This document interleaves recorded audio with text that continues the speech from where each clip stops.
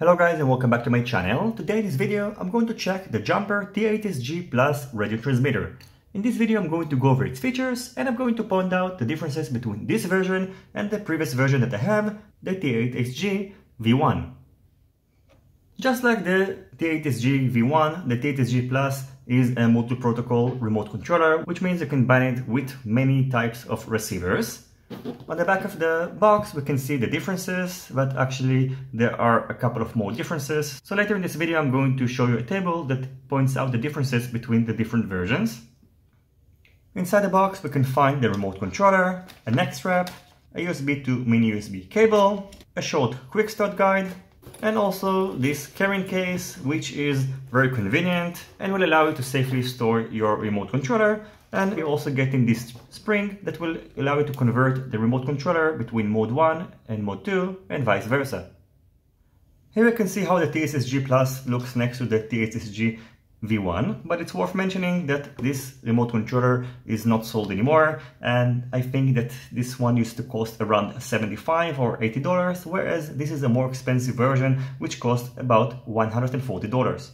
So currently there are two remote controller in the T8SG series in the market, so you can get the advanced version and you can get the plus. and on the following table you will be able to see the differences. So in this table we can find the differences between the T8SG V1, the V2 and the V2 Plus. And even though the T8SG V1 is not sold anymore, it's still worthwhile to mention the differences because maybe you have the first generation and you're thinking about an upgrade. The first difference is that the T8SG V1 is lacking any top switches, so we can see we don't have anything on the top, whereas on both T8SG Plus and V2 we can find two, two position switches on the top. Next you can see that the T8SG V1 doesn't have any module bay on the back, whereas it's present on both T8SG Plus and V2, so you can use any JR compatible modules, which are the same modules that are used on the Taranis, I know that it is possible to use the TBS Crossfire, but I'm not sure if it's 100% compatible and I'm not going to test it in this video.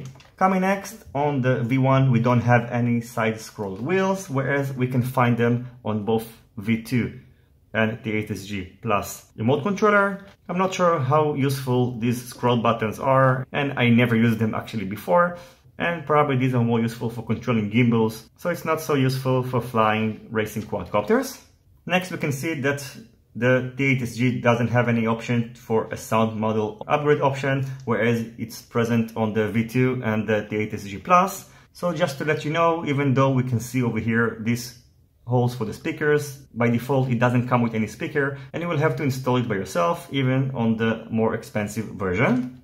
Next we can find that the T8SG has standard gimbals, which is probably the biggest disadvantage of the T8SG V1 because the gimbals doesn't feel so great, they feel like regular gimbals, which they are. However, on the T8SG Plus we can find Hall sensor gimbals. These are more precise and advanced gimbals, so it's going to give you a better feel and later in this video I'm going to head outdoors and see how these gimbals feel. On the T8SG V2 you don't get any Hall sensor gimbals, but you're getting upgraded gimbals, which should be better than the T8SG V1, but I haven't tested them myself.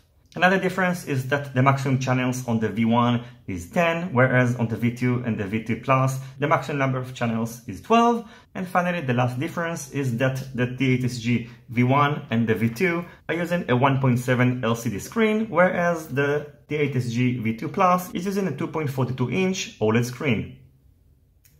So here you can see how the screens look next to each other and all the menus are the same. You can see here, but of course it's bigger on the T8SG Plus screen because it's using a bigger screen and also the screen is more readable.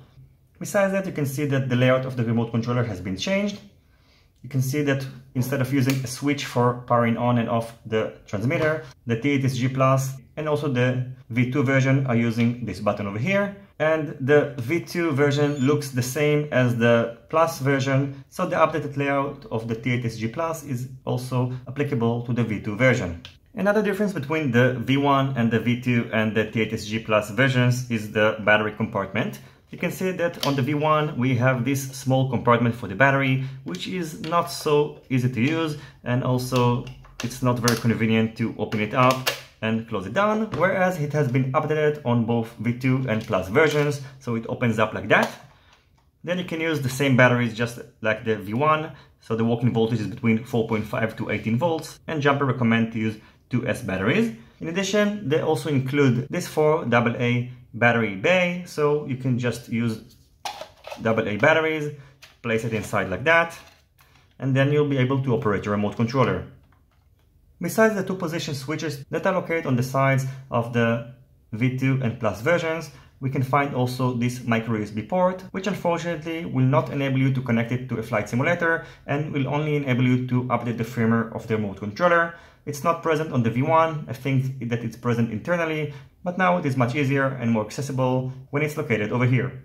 In order to use it with Flight Simulator, you have, of course, an option to use Betaflight 3.5, which is probably the easiest way, but you can also purchase an adapter that will use the PPM port, which is located on both remote controllers over here, and I'm going to put a link to this adapter in the description box down below.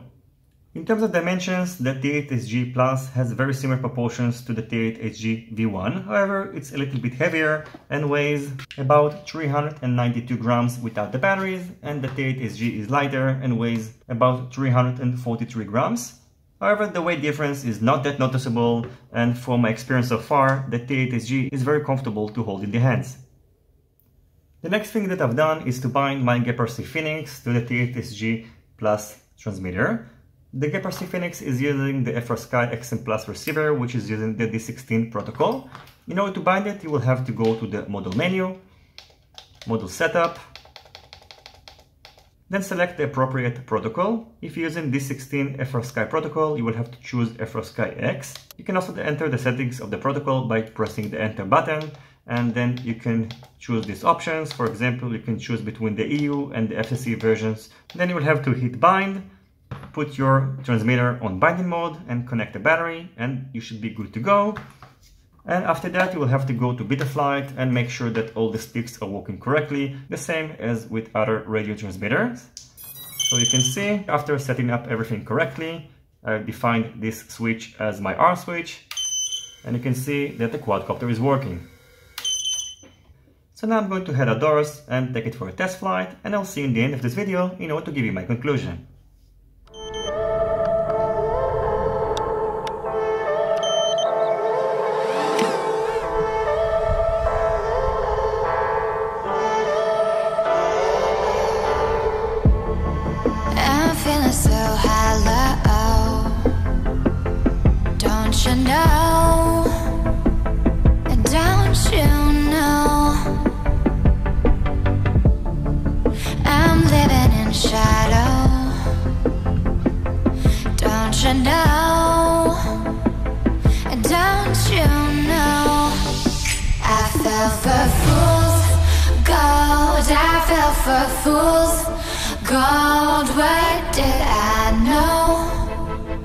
What did I know? I fell for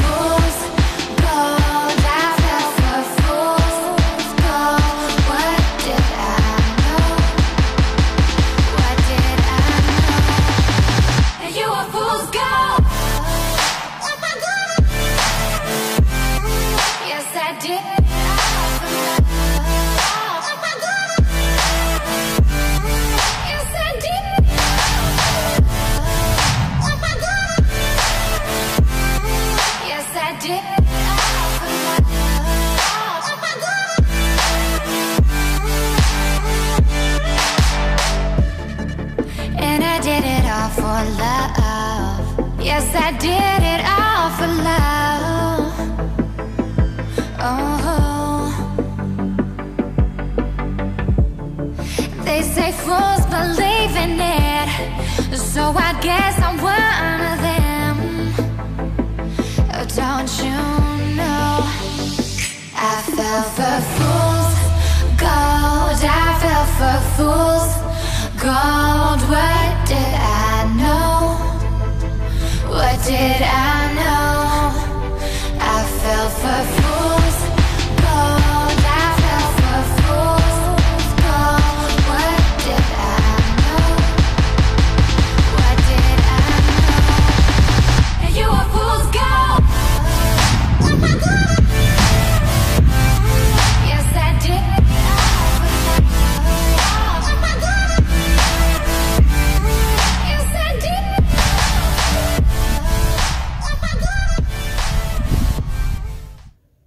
So overall I can tell you that the Plus version definitely feels better than the T8SG V1. The Hall sensor gimbals make a difference and I felt much more precise flying it with the Plus version than using the normal gimbals of the V1.